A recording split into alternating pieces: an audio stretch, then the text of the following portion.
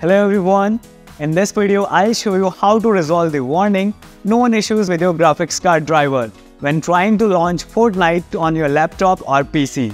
We'll tackle this error by updating the graphics card driver. There are two methods to accomplish this. The first is to manually identify, search, download and install the drivers. Alternatively, you can use reliable driver updater software which automates the process seamlessly.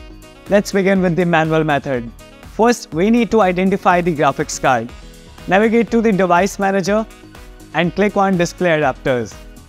Here you will see the type of graphics card installed. To download the drivers, visit the official website of your graphic card manufacturer. If you have an NVIDIA card like mine, go to the NVIDIA website. You can also find the link in the description. Select the appropriate options for product type, series, product operating system, download type, and language. After making your selection, click on search to find the latest drivers.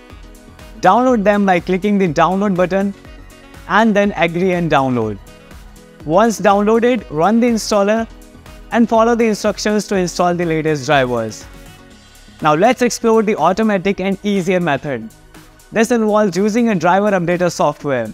You can choose any software of your preference if you prefer the one I am using, I've included a link in the description for your convenience.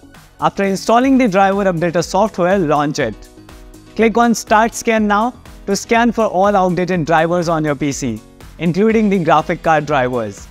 Simply click on Update All to update all the drivers including the graphics card driver. Once you have updated the drivers, the warning issue should be resolved. Now relaunch Fortnite and enjoy your gaming experience. If you have any questions, feel free to drop a comment below and don't forget to subscribe for more tutorials like this. See you in the next one.